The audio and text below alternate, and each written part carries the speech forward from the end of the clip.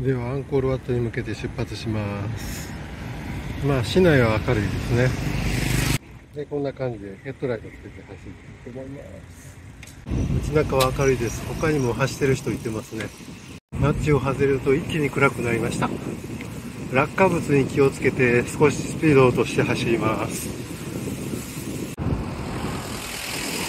両側に街灯があるのでまあまあ明るく走れてます。アンコールワット大堀沿いの道に到着しました。もう少しです。で上を見上げるとカメラには映ってないと思うんですが星が綺麗に見えてますので、えー、期待大きいかなと思ってます。もう少しです。この辺りは分かりますかね。自転車が走る道と道路の間に段差があります。ここ要注意です。入り口到着しました。この辺りでバスを降りる人が多いようです。ゲート入ったらさすがに真っ暗です。ゆっくり走ります。まあ人がたくさんいてるのでそれに沿って歩けば大丈夫です。自転車止めました。初めてだったら迷うでしょうけども昨日一度来ているので、えー、止める場所大体分かりました。では歩いていきたいと思います。さあすでにうっすら明るくなってきてます。アンコールワット内部に入ってきました。うっすら明るくなってシルエットが美しいですね。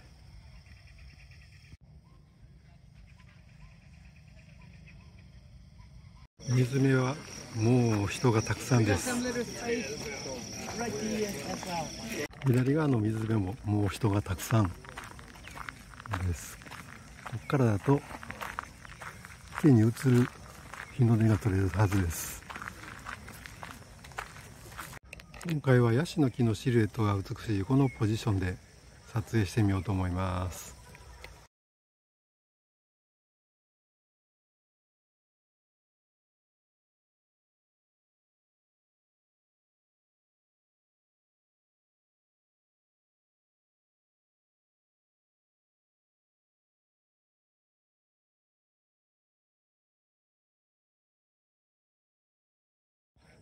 町の中心部からアンコールワットの駐輪場までだいたい35分で来れました。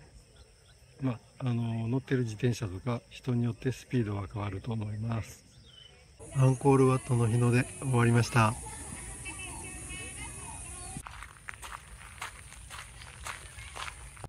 ではアンコールワット出発します。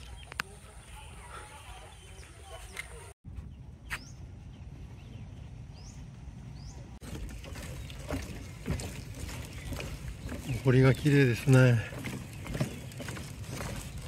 自転車置き場に戻ってきました。これからホテルに戻りたいと思います。いやー素晴らしく綺麗ですね。高い木。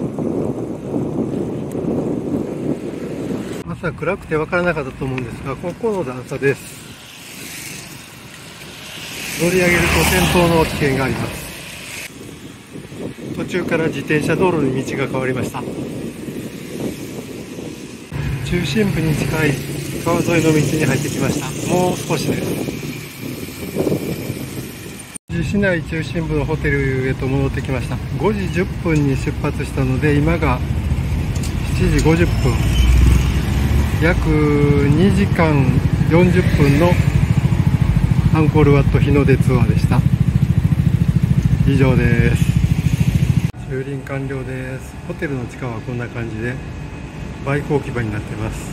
バイクを使持ってる人が多いのでまあほとんどのホテルではこういったものがあると思います。